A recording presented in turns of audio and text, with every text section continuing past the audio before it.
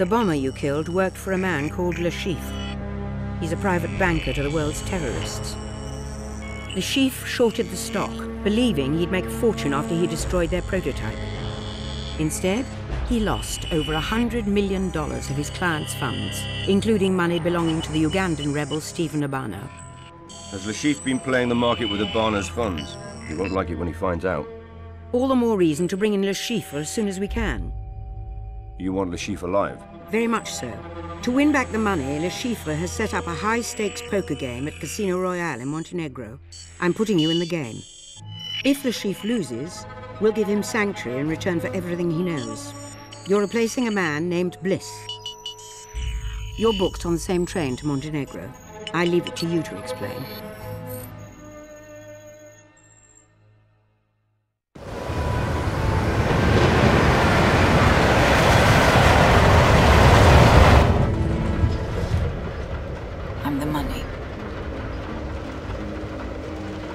Every penny of it.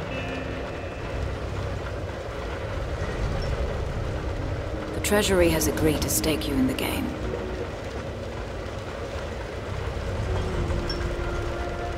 Vesper. I hope you gave your parents hell for that. Of course you realize that if you lose, our government will have directly financed terrorism.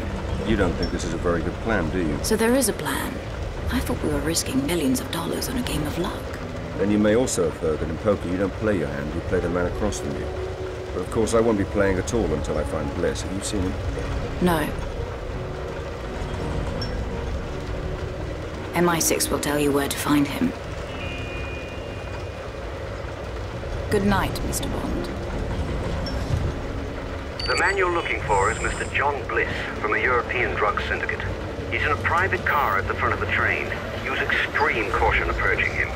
Bliss isn't traveling to Casino Royale just to play cards. He's made arrangements to take delivery of 100 kilos of black tar heroin sometime before your train reaches Montenegro. Work before pleasure, I suppose. Bliss and his men will be on full alert. Move carefully.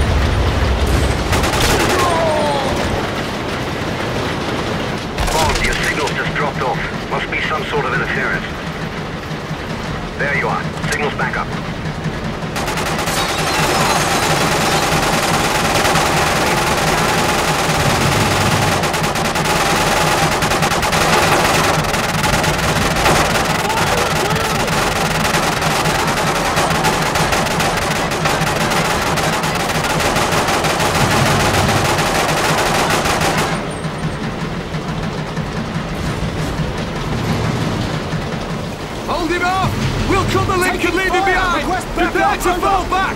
I'm almost through!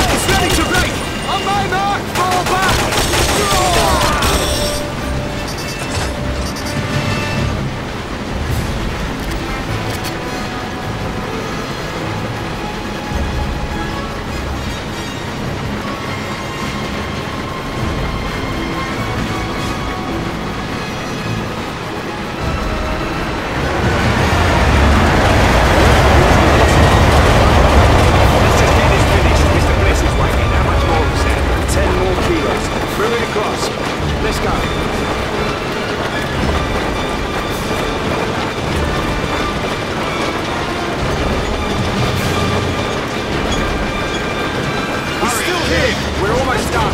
Bond, pick up my train car and I'll have that heroin impounded by the authorities this evening. Oh,